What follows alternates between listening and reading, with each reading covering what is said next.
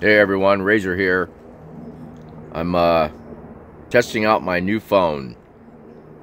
Uh, the video quality on this thing is supposed to be uh, a little bit better. And uh, so this is my first video on my new um, S8, Samsung S8. And it's the S8 Plus for what it's worth.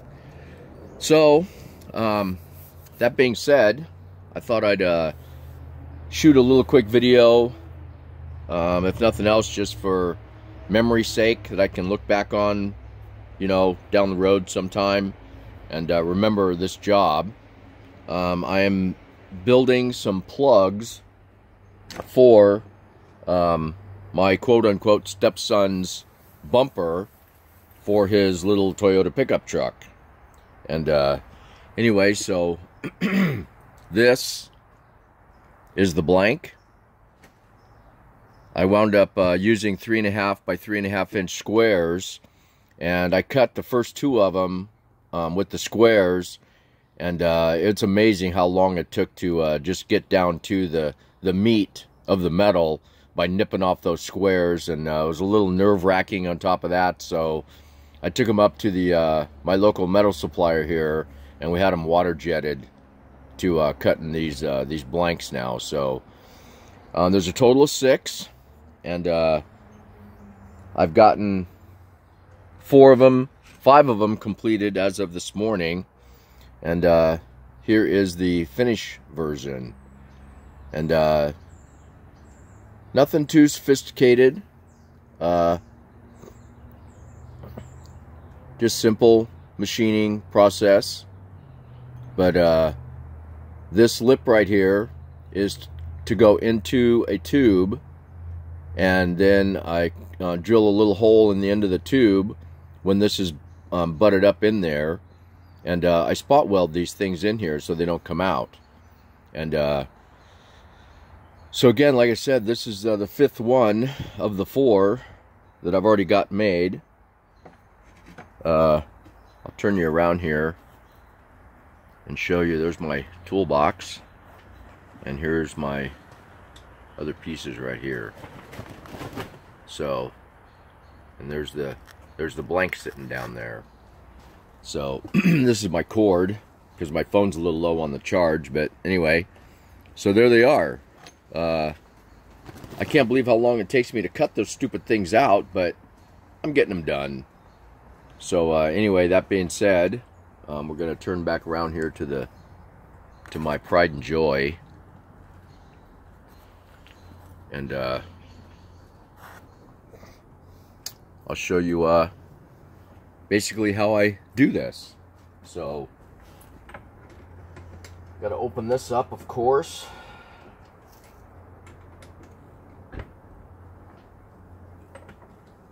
I absolutely love my four jaw. Um, I hardly ever, I think, uh, I think I used my three jaw once, and it was about a week ago maybe, and I forget why I used it, but uh, I did, but that was the first time I think I've used it in over a year, because I love my four jaw. I just set everything up with this thing. Just, uh, it's easy for me to do.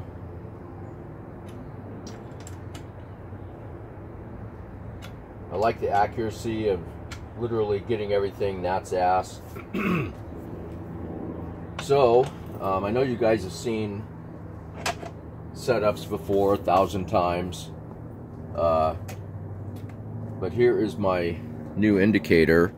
I don't know if uh, if I showed these or not, but uh, my old one fell and uh, it didn't hold up too well. So I had to break down and buy a couple of new ones. And I bought two of them because they were on sale. But basically you can see that it's in my holder. Um, hopefully you can. Yeah, you can see that. Um, it's in my holder right there. and I just run this up here, back this out, run this up, and uh, supposed to be set basically to the center of my chuck, my chuck jaw. So here we'll make a little minor adjustment right there. So, um, just uh, to show you guys for what it's worth, um, as you can see, this is a typical AXA tool holder and I just went and got a piece of flat stock and I drilled it quarter 20 in two spots here so I can locate my gauge once it's sitting in the chuck I mean in the uh, in the tool post. I can either move this here or move it forward depending on what it is that I'm uh, getting ready to turn. And as you can see I bent that thing like this so I can see the face of the dial as I'm doing my adjustments. So um, that way I can adjust this thing also in the tool holder. I can I can loosen these two screws and move the whole plate forward if I need to for whatever. So I just kind of rig that up just to uh, help me out to uh, get me into whatever it is that I'm trying to indicate. So, that being said, um, now I can crank my dial here and uh, you know set my my indicator. I turn it one revolution and then back up to zero. And then uh, I go ahead and because this is a rough surface on here I kind of hold the the uh, needle away from the surface um, even though I, I know it probably wouldn't hurt it and uh, rotate it 180 degrees. And uh, I know this is pretty far off right now just by looking at my jaws in relation to where they're located on the chuck. So, um, seeing as I have two wrenches, I sit here and I can work the uh, the jaws against each other and basically move these things to where they visually match for the most part. Okay, so that that looks pretty close visually. And I'll just turn this up to zero. And then uh, crank that around. Here we go. We're about about 50 thousandths off, which isn't too bad for guesswork. So we'll split that in half. Go up to 25. Give or take. And there it is. We're uh, pretty damn close right there. So now, again, all I need to do is back these off. Tension on there a little bit and move this, these two jaws to my 25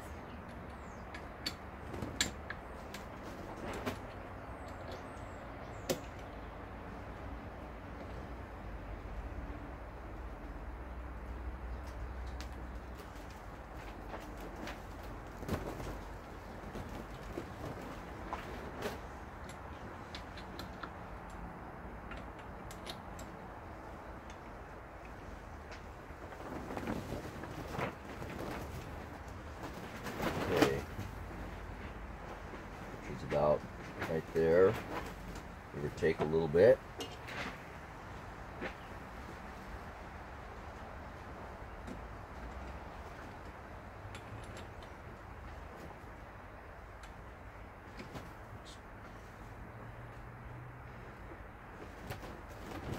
So because these things were uh, cut on the water jet, I've noticed that uh, that they're not that concentric.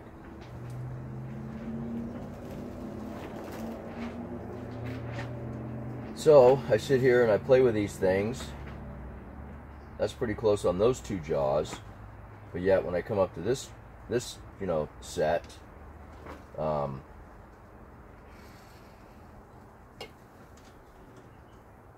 they're not the same. It doesn't read the same.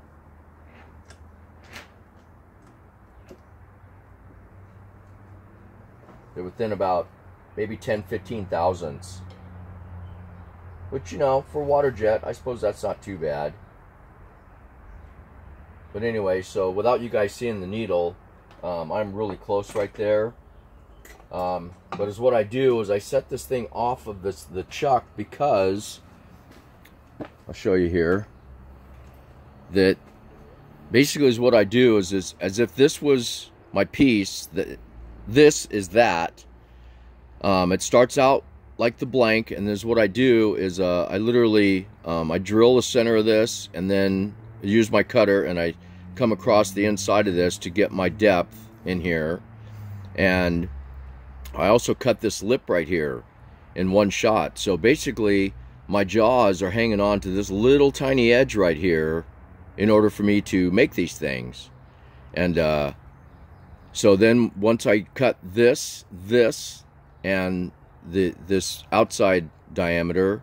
Um, I bevel the edge right here because it goes into, like I said, it goes into the uh, the existing bumper. It has tubes. It's a tube bumper, an old Smittybilt tube bumper, if you guys know what that is. And uh, anyway, so once I get all these operations done, then I take it loose and I turn it around and then I put my jaws in here and I grab it in here in these four locations like this. And then I go ahead and I face the front and I turn down my OD on this and do my little chamfer here on the on the edge. And there we go. So this whole operation like I said takes me about oh I don't know maybe three about three hours I guess by the time it's all said and done uh, you know my lathe is uh, you know it's, it's obviously only a little eight inch lathe so I can only take so much metal out at a time but uh, that's pretty much it. So anyway, um, you guys have, like I said, have seen these, these operations a thousand times. Um, I'm just testing out my new camera here and make sure the video works. And I've got all the, the buttons pushed and whatnot in order to make the video. And that's pretty much it. So um, it's Saturday morning. Uh, I think today is the 6th of May in the wonderful year of 2017. So anyway, uh, I'll bring you guys back when uh, when I start making some progress. So until then, hope everyone's safe. Hope everyone's having a great weekend. Um, I know John Saunders is having his open house this weekend. Uh, saw a live video from Tom Tom Zelikman, I think is how you say his name, or Zelikman. Um, anyway, saw Brad up there and uh, so it looks like he has a really good turnout. So I'm happy for you, John, in case you uh, peek at my video. Um, so until then, you guys, uh, I will uh, I will try to get these done. This is my last one that I need to do. And uh, I'll show you how they go into the bumper and how that's going to work with me uh, welding them in place so they don't fall out. So anyway, Again, hope all is well, and I will talk to you guys later. Okay, so Razor saying so long for now. Okay, bye. Okay, everyone, Razor here. Um, God, it took longer to set up my damn camera than it did to uh, to make the part. Uh, anyway, I'm just uh, show you uh, probably this. I think it's a pretty good shot right here. Um, again, nothing special, you guys. This is just basic, simple machining that even an idiot like me can do. Um, obviously, I've made five of these, only got one left. So, uh, anyway, um, I just thought I'd uh, make a little quick video, like I said, to test out my new phone and uh, have something to post up for tomorrow. Because uh, Sunday is my post-up day if I have something to show. So, uh, here we go. Let's get busy.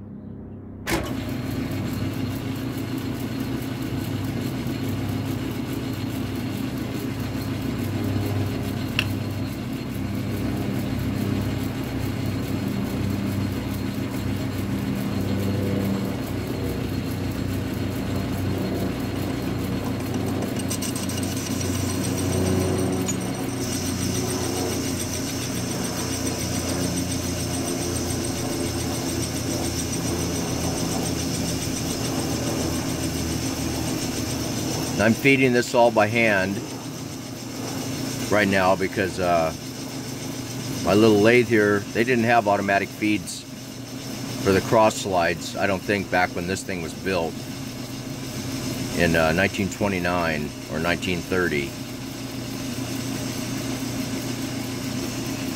I'm actually surprised at how nice that finish is coming out on there for the first cut. That's a little impressive.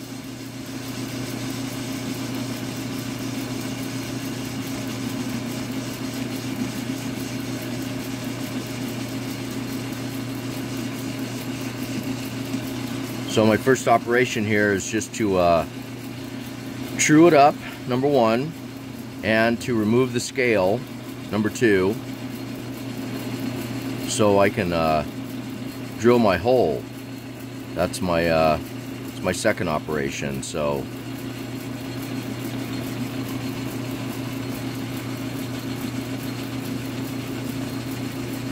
This is pretty good on my facing cut. Um, it doesn't have to be anything really spectacular right now. I just want to clean it up, make it somewhat true.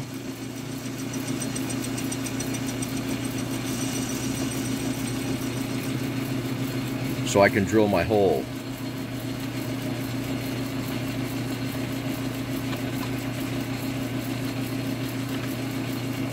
Okay, so I'll get this out of the way.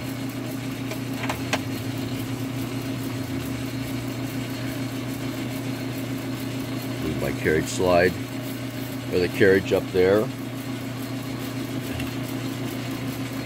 And if I remember right, I think it was Dave. I think it was Dave that uh, told me I needed a different type of drill to uh, to do this operation. Um, so you're gonna have to remind me, Dave, if you see this, because um, I think you were the one that asked me if I needed anything too at some point. So uh, to answer your question, I guess I could probably use these drills that you're talking about. So uh, anyway, but in the meantime, I used what I got. So as what I do is uh, this whole blank is only a half an inch thick and is what I'm trying to do is eliminate some of the weight. Not that it really matters but uh, eliminating some of the weight just the same by by turning out the center like I showed you earlier. Um, so is what I do in my preliminary uh, procedure here is to drill this thing approximately 3 eighths of an inch deep because that's about how much material I want to take out from the center. So I just eyeball this thing until, uh, until it looks like that I'm about 3 eighths of an inch in there.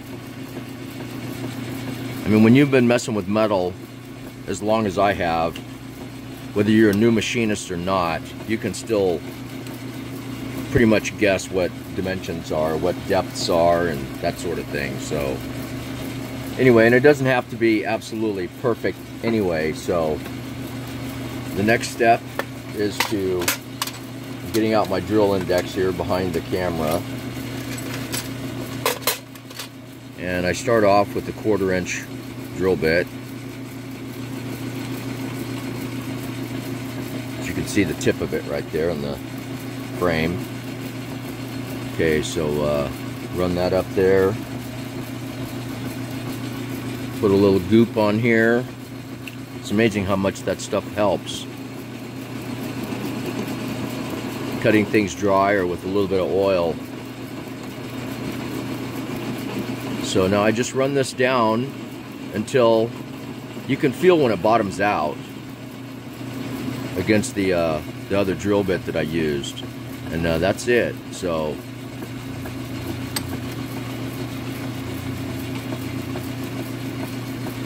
That's all it is for that one. And for what it's worth, you guys, I always clean off my drill bits like this before I put them back in the in the uh, in the case in the index. Okay, so I'll go with the 3 eighths next.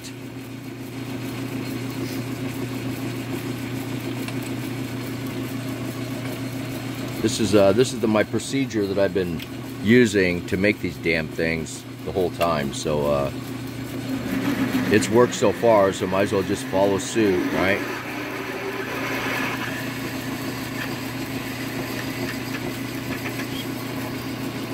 So just again, just drill that to depth.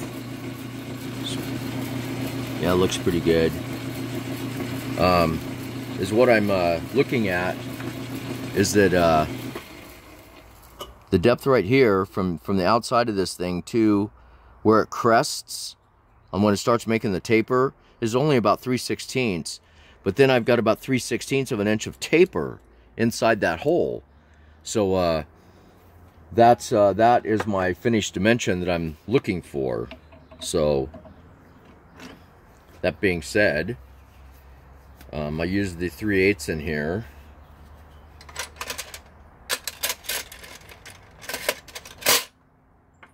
And then I grab my little 3 8 2 flute end mill. And uh, yeah, I know you're not supposed to use an end mill in a friggin' chuck and you're not supposed to use it in the lathe like this and all this other stuff. But you know what? I'm limited on my tooling. so, you guys are just going to have to suck it up. Bear with me here. Ding dang darn it. So is what I'm doing now is I'm going to uh, take this in here and it will flatten out my hole.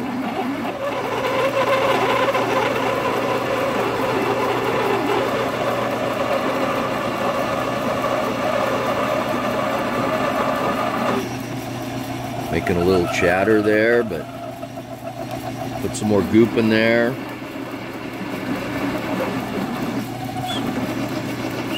Carried away here now. It's amazing how much that thing flexes. And it's uh, pretty much par for the course. It's it's done that on done that on every one of these. So uh,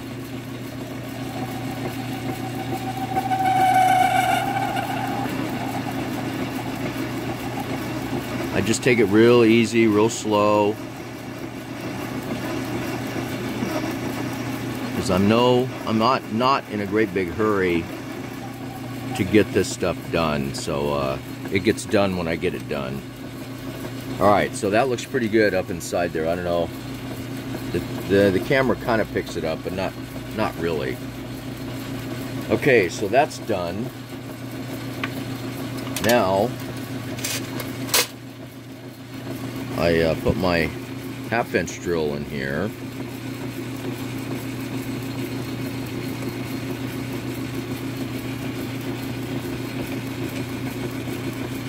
Chuck this up in there.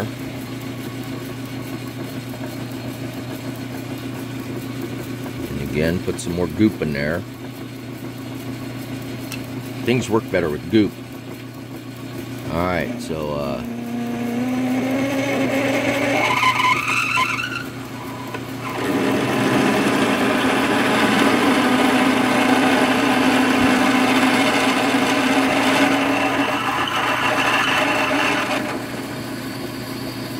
amazing how much that thing chatters.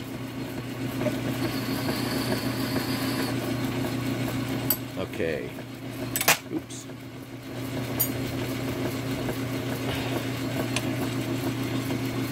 I think that's the first time I've ever dropped my damn chuck key. Of course it would be on film. For Stan to make a comment.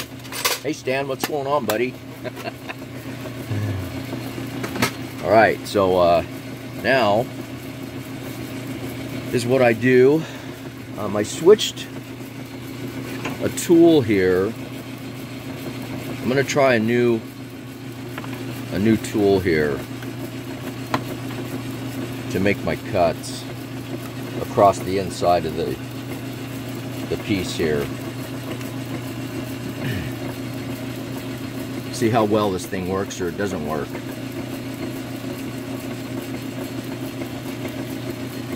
Okay, so now I uh, I like running my lathe. I don't I don't like turning it off if I don't have to. Um, I don't know if it's a good thing or a bad thing to do that. Um, I'm definitely cognizant of that thing spinning, believe me. And uh, as time goes on, I do get a little bit more comfortable working around it. But that's not to say that I get complacent, because I don't, at least not yet. So, but now I'm going to move my um, my carriage stop right here. And uh, that's the reason why I stopped the chuck, because the jaws are hanging out. And I don't want to inadvertently hit that damn thing if I'm moving my carriage stop. Which technically it won't, because see, here's, you know, I mean, there's my finger, full width of my finger in there, and uh, it doesn't even come close. But, you know, like I tell you guys, just to be safe, you know, better safe than sorry. Just turn the damn thing off and make your adjustments, put your tools in, take your tools out, you know, whatever, whatever makes you feel comfortable. Just, uh, just be safe. All right, so here we go. So now what I'm doing is with the carriage stop, see it, it, it goes and it just stops. And now if I want to move this in, I will move my compound to move this in. See that? As I, I as I turn it, I can move it in. So anyway,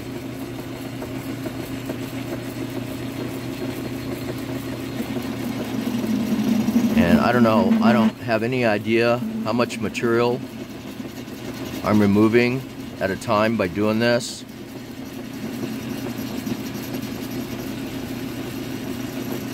But I try to take as much as I can without, you know, putting too much stress on the machine itself or causing any chatter or that kind of a thing.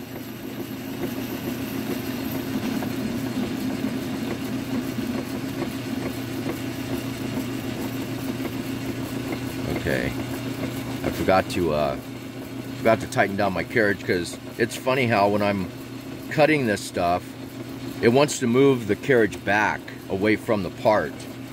So I have to lock my carriage down in order to uh, keep it where it's supposed to be. Alright, so uh, so you can see it starts cutting right away because it started moving almost instantly.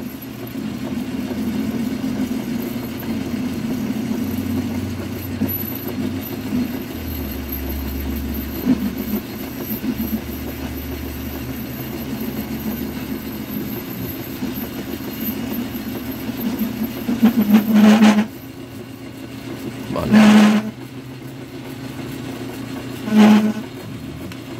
Okay, that's telling me that maybe I'm taking a little bit too much material, so I'll back off my depth here and continue out to my dimension. And I'm just guessing here right off the bat as to what that is supposed to be. So what I do is I take my old one, clean it off here, and with my new Mitsutoyo calipers, I love these things by the way. Um, yeah, basically they're supposed to be at 2 inch 300 is pretty much it right there glare, focus, there we go. 2 inch 300. So, that's what I do. Is that being, I just lock it down right there, that measurement. And I stick these in here. And I see, well, I'm on the edge of the of the bottom of my cut. And you see how far up it is on the on the top right there, maybe. There you go. So that tells me that half that distance is what I need to go. So I'll just kind of guesstimate that I need to go about another eighth of an inch. So let's do that.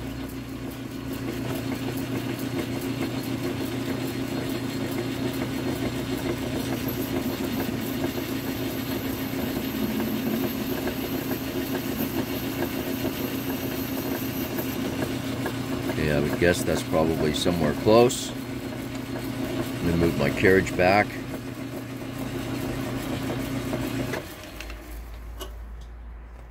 Get my stuff out of the way. Check this again.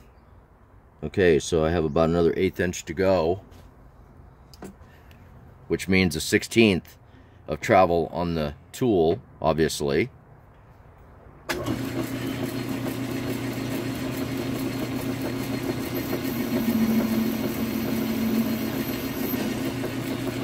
So I'll leave it right there.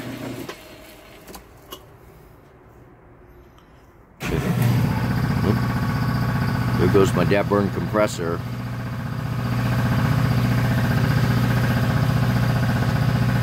Let me go shut that off.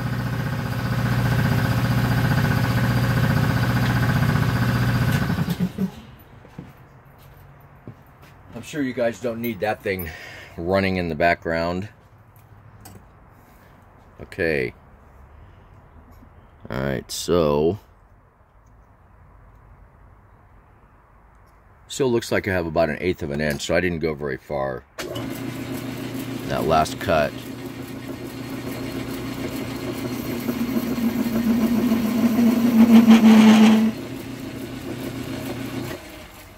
It doesn't have to be perfect, but all the rest of them are are good, so I might as well keep it up here.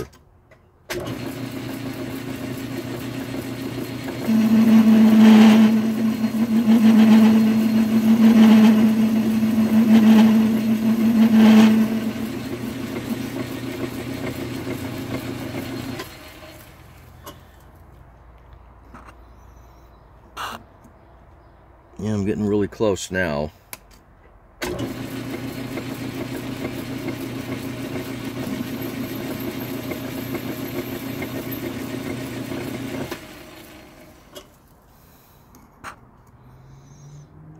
Maybe this is why it takes me uh, two and a half hours to cut one of these out.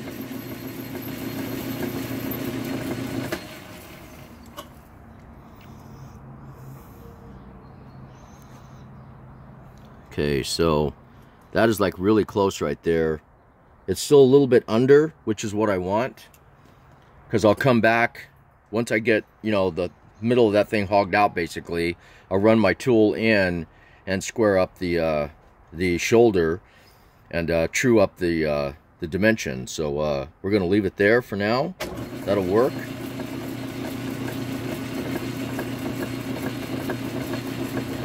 And because I cranked out my comp